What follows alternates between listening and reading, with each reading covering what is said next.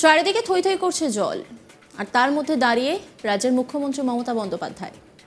হ্যাঁ একদমই তাই। নিম্নচাপের জেরে বৃষ্টি, সঙ্গে দোসর, ডিভিসের ছাড়া জল।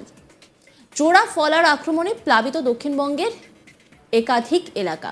হাওড়ার উদয়নারায়ণপুরে বন্যা কবলিত এলাকা পরিদর্শনে যান মুখ্যমন্ত্রী মমতা বন্দ্যোপাধ্যায়। বানভাসী এলাকার পরিস্থিতি দেখে ডেভিসের পাশাপাশি পড়শি রাজ্য ঝাড়খণ্ডের বিরুদ্ধে ক্ষোভ উগরে দেন মুখ্যমন্ত্রী মমতা বন্দ্যোপাধ্যায়।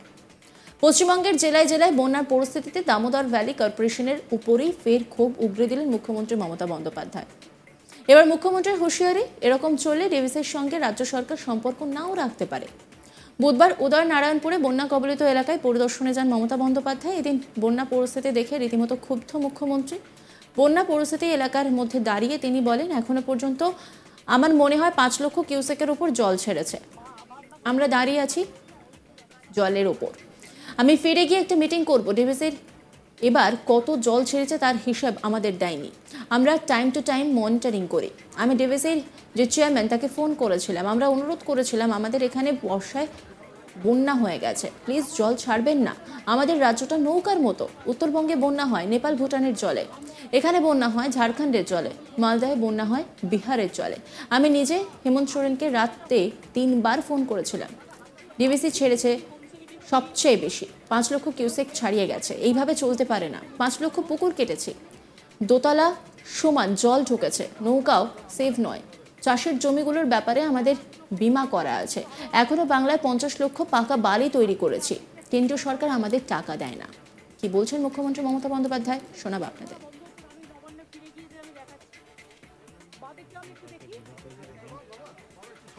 এখনও পর্যন্ত আমার মনে হয় পাঁচ লক্ষ কিউসেকের উপর জল ছেড়েছে আমি এখন ফিরে গিয়ে ফার্স্ট কাজ আমার হচ্ছে যেটা আমার দু ঘণ্টা লাগবে আমি গিয়ে যেটা করব।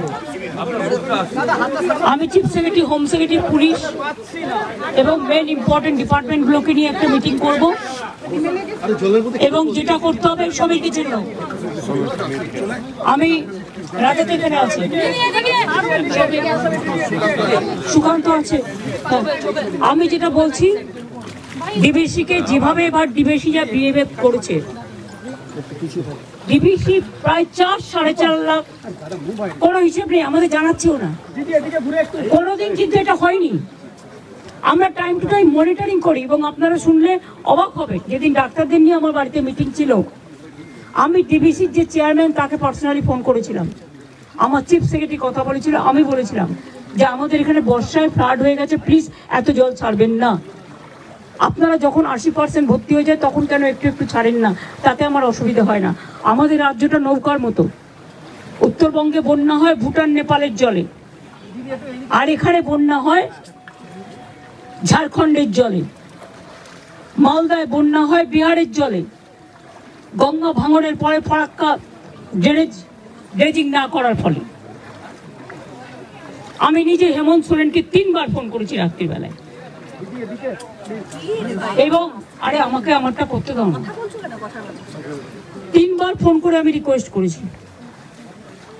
ওরা ছেড়েছে তেনুঘাট পাঞ্চের থেকে, আর ডিবিসি ছেড়েছে সবচেয়ে বেশি। এখন জল ছাড়ার পরিমাণ পাঁচ লক্ষ ছাড়িয়ে গেছে। পুরো হিসেব ওরা আমাদের বলছে না। এভাবে তো চলতে পারে না বছর পর বছর। তাও তো পাঁচ লক্ষ পুকুর কেটেছি আমরা। পাঁচশো চেক ড্যাম করেছি। তার মধ্যেও জলটা ঢুক- ঢুকছে। সেইগুলো যদি না করতাম, তার মানে আরও কত হতো? দোতলা সমান জল ঢুকেছে। এবং কালকে বীরভূমের ডিএম, এমএলএ, এমপিরা কোনো রকম লাকিলি বেঁচেছে। ফর্চুনেটলি নৌকাও সেফ নয় এত জলের স্রোত। আমার কাছে এক্ষুনি খবর এলো, আমি যেখানে থাকি, আমরা অত উঁচু করে বাঁধিয়ে দিয়েছি গঙ্গাটা। তাও পুরো লাস্ট স্টিয়ারে জল। আমি ফোন করে বললাম লতাকে, ও যে আমার সাথে থাকে, অভিষেকের মা, যে শিগগিরি পাশে সরে যান সমস্ত গলি টলি সব জলে ডুবে গেছে, এত জল। এটা এখন চলবে দুটো তিনটে পর্যন্ত। পূর্ণিমার কোটালো গেছে কালকে। তারপরে যদি রোদ থাকে, এইভাবে, বৃষ্টি যদি আর না হয়, তাহলে তিন চার দিন টাইম লাগবে এটা সেটেল করতে। চাষি জমিগুলোর ব্যাপারে আমাদের ক্রপ ইন্স্যুরেন্স করা আছে, শস্য বীমা চাষিদের জন্য। তারা চিন্তা করবেন না, জল শুকিয়ে গেলে মেপে সেগুলো দেখে নেওয়া হবে। যাদের মাটির বাড়ি ধসে গেছে, যদিও এখনও প্রায় বাংলায় আমরা পঞ্চাশ লক্ষ পাকা বাড়ি তৈরি করেছি, কিন্তু এখনও পঞ্চাশ লক্ষ মাটির বাড়ি আছে। তিন বছর ধরে কেন্দ্রীয় সরকার টাকা দেয় না। তাই এবছর আমরা এগারো লক্ষ করব বলে ঠিক করেছিলাম ডিসেম্বরে। ওটাকে আমি বাড়িয়ে আরও এক লক্ষ বাড়াবো। তার কারণ হচ্ছে, যে বাড়িগুলো মাটিতে একদম ধসে গেছে, যদি সেই বাড়িগুলো লিস্টের মধ্যে না থাকে, তাহলে যার বাড়ি হোক আমি এখানে কোনো ডিসক্রিমিনেশন বঞ্চনা চাই না। মানুষ বিপদে পড়েছে, মানুষের পাশে দাঁড়ানো আমাদের কাজ। বুধবারও হাওড়া ও হুগলির বন্যা কবলিত এলাকা পরিদর্শনে গিয়ে মমতা বলেছিলেন ম্যানমেড ফ্লাড মানে পরিকল্পিতভাবে বাংলাকে ডুবিয়েছে নিজেদের রাজ্যকে বাঁচাবার জন্য। বারবার বলে বলে ফেড আপ হয়ে যাচ্ছি। আরও তিন লক্ষ কিউসেক জল রাখতে পারে। যখন সত্তর শতাংশ ভরে তখন কেন ছাড়ে না? বাংলা কত সহ্য করবে? গত বছরও বন্যা পরিস্থিতিতে এই একই অভিযোগ তুলেছিলেন মুখ্যমন্ত্রী মমতা বন্দ্যোপাধ্যায়।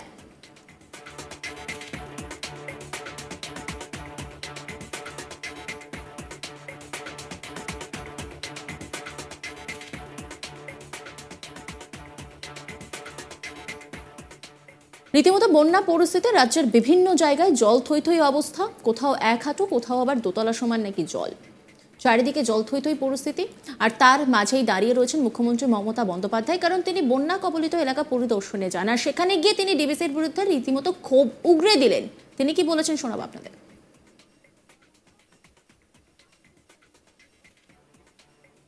এখনও পর্যন্ত আমার মনে হয় পাঁচ লক্ষ কিউসেকের উপর জল ছেড়েছে। আমি এখন ফিরে গিয়ে ফার্স্ট কাজ আমার হচ্ছে যেটা আমার দু ঘণ্টা লাগবে, আমি গিয়ে যেটা করব। আমি chief secretary home secretary police এবং মেন ইম্পর্টেন্ট ডিপার্টমেন্টগুলোকে নিয়ে একটা মিটিং করব এবং যেটা করতে হবে সবাই কিছু না আমি রাজাতে এখানে আছি। সুকান্ত আছে। হ্যাঁ। আমি যেটা বলছি ডিবিসিকে যেভাবে এবার ডিবিসি যা বিহেভ করেছে। ডিবিসি প্রায় চার, সাড়ে চার লাখ কোনো হিসেব নেই, আমাদের জানাচ্ছেও না। কোনোদিন কিন্তু এটা হয়নি। আমরা টাইম টু টাইম মনিটরিং করি এবং আপনারা শুনলে অবাক হবে যেদিন ডাক্তারদের নিয়ে আমার বাড়িতে মিটিং ছিল, আমি ডিবিসির যে চেয়ারম্যান তাকে পার্সোনালি ফোন করেছিলাম। আমার চিফ সেক্রেটারি কথা বলেছিল, আমি বলেছিলাম যে আমাদের এখানে বর্ষায় ফ্লাড হয়ে গেছে প্লিজ এত জল ছাড়বেন না। আপনারা যখন আশি পার্সেন্ট ভর্তি হয়ে যায়, তখন কেন একটু একটু ছাড়েন না? তাতে নজর রাখুন আজ বাংলার ইউটিউব স্ট্রিমিংয়ে